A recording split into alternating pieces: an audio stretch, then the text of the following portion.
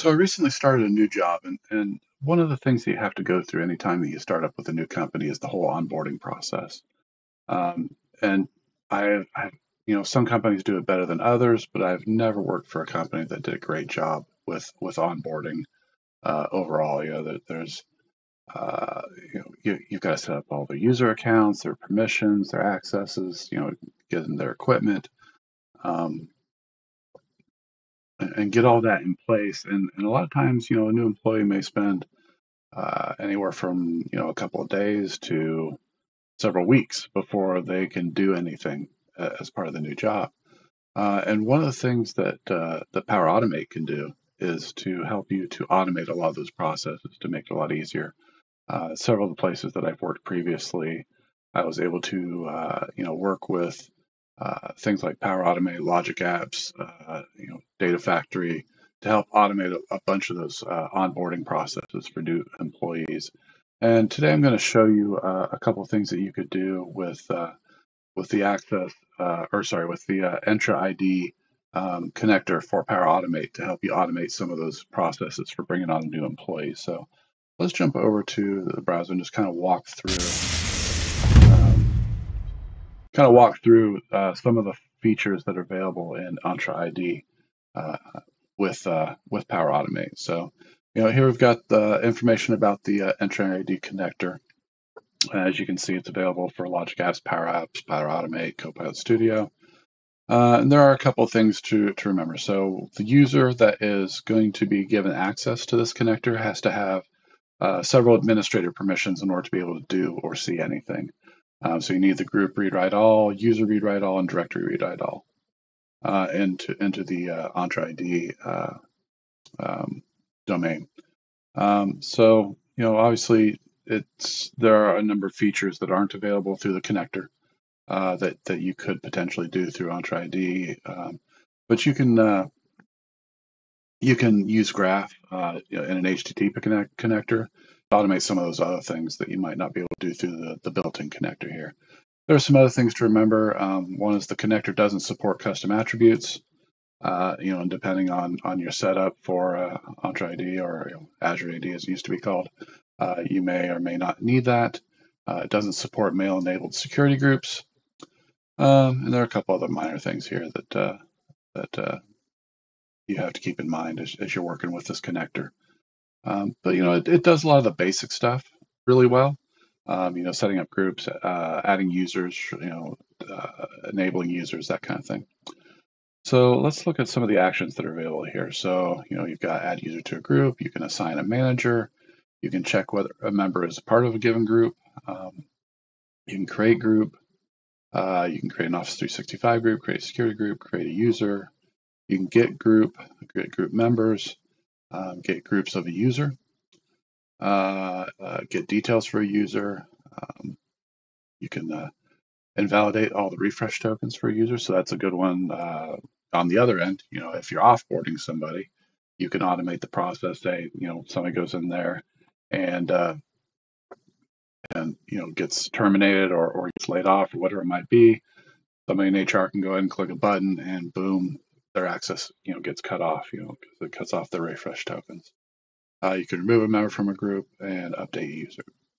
Um, one of the things to remember about groups and user IDs is you cannot search through this connector, which I think is, is probably the biggest uh, downside of this connector is you can't do any searching.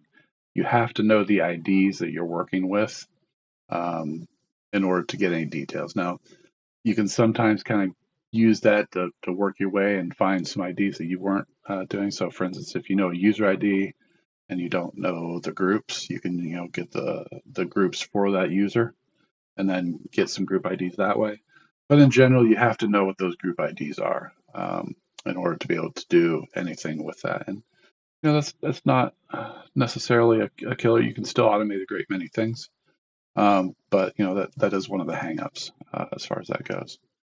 So uh, let's uh, just go over here. I'll just show you a quick tenant here. I've got this tenant that I use for demos. Um, you can see I've only got two users here. And what we're going to do is we're going to automate the process of uh, adding um, some new users to that te tenant and uh, giving them some details. Um, excuse me. So, you know, the data can come in from anywhere. So here we've got our flow and Power Automate. Uh, and basically what we're going to do is we're going to walk through. So I've got a set of data here uh, for three new users. Um, I'm going to set up a couple of variables to work with, and I'll walk through those here. For each of those, I'm going to get the information about the user from the data set. I'm going to create a user in Entra ID. I'm going to add that user to the uh, all, all employees group. And then I'm going to get the information about that group after I've added those three employees. I'm going to get the group about, get the details about the group and get the members of the group. So just some simple things that you might want to be able to do with Entra ID uh, in this uh, particular circumstance. So you can see here, um, you know, each of the users, I've, I've passing as data, uh, JSON data. You can pass it, and you know, however you get that data. It might be a feed from from uh, you know your HR system. It might be a, a, CSV file. However you get that data into Power Automate really doesn't matter. Um, you just have to be able to parse that data, which you can do from any number of different sources. So in this particular case, I've got some JSON data for three new users. For each of those, I've got you know some fake information, fake name, um, uh, you know what their title is, what their you know phone number is, what their location is, who their manager is, you know the the email address of their manager. Um, in these particular cases, you know I've, I've set preferred for two or for one of them, not for the other two. Uh, you can see each of them has you know a different job title, different phone number, different location different name, and so on and so forth. They're all set to the same manager. However you get that data in, it really doesn't matter, but those are the basic details that you need for each of those. Uh, as far as the vari variables that we're going to do, um, I've got this, uh, uh, actually this one I don't use. This is the one that I use, so group ID. So I've set up, you know, this uh, fake group ID uh, temporary in, in this tenant. Um, one of the tricky things, if you pay, copy and paste the group ID in, to uh, the actual um, like get group down here, if I were to copy and paste it in here, for some reason it adds like a, a, a line a line feed, new line like slash n, and you can't get rid of it. It's just a quirk of the user interface. Um, so what I have to do is is put it into a variable and then do trim to cut off that that white space stuff. Because uh, if you have any extra characters at all, um, Entra IDs endpoints throw a fit and, and they won't work. But anyway, just a little kind of gotcha to keep track of as you're working with stuff. So for each of these users, um, I'm going to, you know, parse the JSON data that's coming in, and then I'm going to call this create user endpoint. And what that'll do is it'll it'll create uh, I'm set them all as disabled. You can set them either as enabled or disabled when you create these new accounts. I'm going to give it a display name, give it the mail nickname, set up a temporary password for each of them. Um, you know, set up the user principal names, adding them to the domain, uh, give them a given name, a surname, uh, and then there's some optional data that you can show for each of them. Um, you can add like a business phone, uh, you can add their preferred language, uh, department, job title, mobile phone, office location. So I'm adding those four things, but not you know the language or the uh, the business phone number for any of them. And then for each of those users, I'm going to add them to the um, uh, to this group that I, have got over here. And if I go over and I look at my groups, um,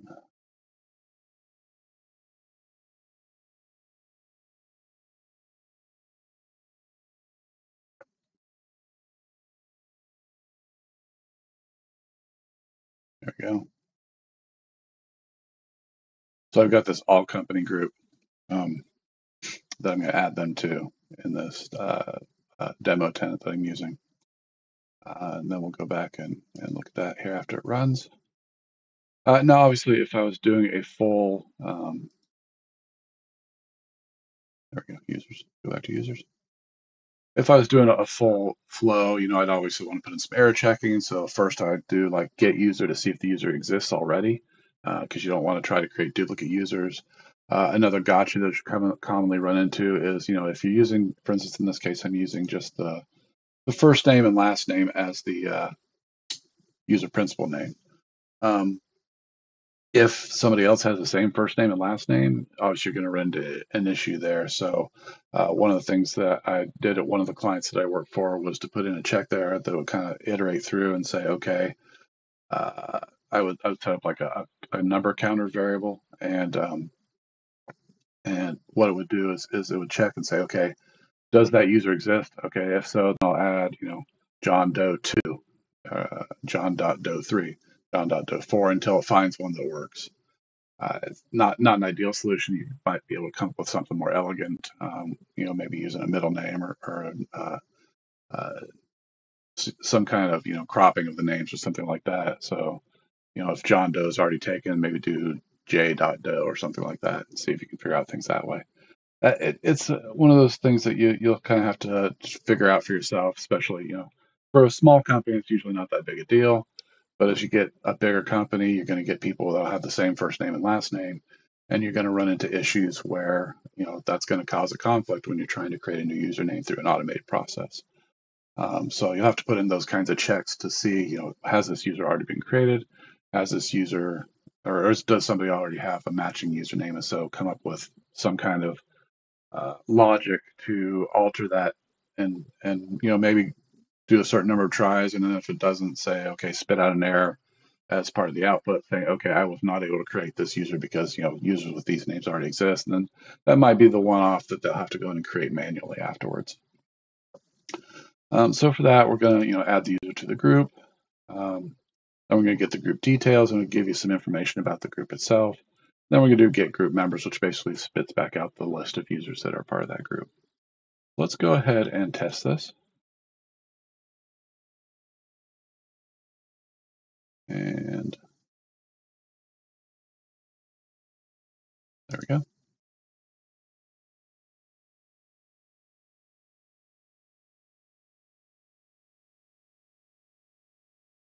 Run that. Done. Zoom out a little bit here so we can see the output. You can see it's running now and putting through. And there we go. So it's added all those users, added all three users, got the group details. Um, so you can see for each of the users that comes out, uh, let's look at one of these here in particular. Uh, just see the outputs that come back. You see it gives you some information back about the user that was created. So say, hey, I created this user. And, you know, if you're going to do other things with that user, the important piece is that ID that it gives you back. So saying, okay, I've created this user. Here's the ID of that user. Um, we've got that for those. So if we look at the get group details, and if we look at the outputs here, again, you're gonna, just going to see some information coming back. So it's saying, you know, uh, it's a default group for everyone in the network. Here's the name of that group, uh, the type of group, uh, you know, if it has a, an email address associated with it, proxy addresses, all that kind of stuff. That's you information that you'll see about uh, that group in particular. And then for the last step here, get group members. We'll look at the raw output here. And you can see it comes back with a list of users. So I've got, you know, my two or uh, my default user here, and then the, here's the three new users that we created. So if we jump back over here to Azure, so you can see there weren't those users did not exist. We'll refresh, and boom, there's our three new users. Uh, and if we look at uh, you know one of these users in particular, and we can see the group memberships, and you can see it was added to the all company group.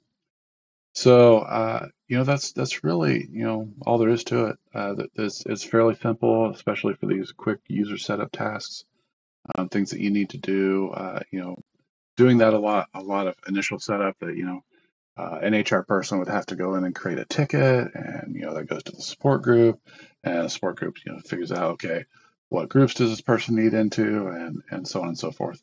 Uh, you can automate a bunch of those processes, you know, because once a group is created, uh, you know that's uh, you know those things don't tend to change very much in, in a corporate environment. So you set up these processes, get those IDs, you set up your flow so that, okay, it comes in and maybe there's a list of the groups that that user is a part of. You can add that logic saying, okay, uh, I've added this user, get my user ID back.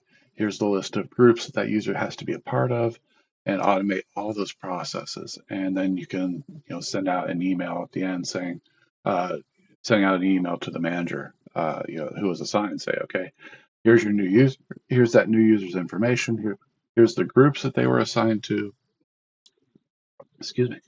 And then that manager can verify, okay, this was set up correctly. He was assigned to the right groups. If not, then you know, the manager can follow up and, and know immediately, okay, I need to make these adjustments to the creation of that user uh, and put in the, the appropriate tickets for that. So there's a lot of stuff that you can do to automate those processes uh, very quickly, very easily uh, through Power Automate and they're connected to Entra ID. And then, you know, that that's going to save you not all the time that you need to save, but, um, you know, depending on how uh, complicated and, and uh, uh, you know detailed you want to get, there's a there's a whole lot of things that you can do. You can you know uh, you know that kicks off with the HR process, adds that new user, and then that maybe that the the flow automatically generates an email to support saying, okay, here's a new user, here's their manager, here's where they're assigned, uh, where they're going to be working, and you know automatically create tickets to your IT support system that's saying, okay, you need to issue a laptop, send that laptop to the manager at this location, so the manager has that laptop and it's ready to go day one. Uh, it makes the onboarding process so much more efficient, so much quicker and easier, and it can save days, if not weeks, of, of effort in getting that new user, that new employee up to speed so that they can be productive, hopefully day one, you know, but if not, then very quickly after that. Uh, so, you know, Power Automate is great for these kinds of things. It's what Power Automate's for. And this is one of the, the best ways to, uh, to automate those processes to make your life a whole lot easier and to, to, to make your company run a whole lot more smoothly than it does. Thank you.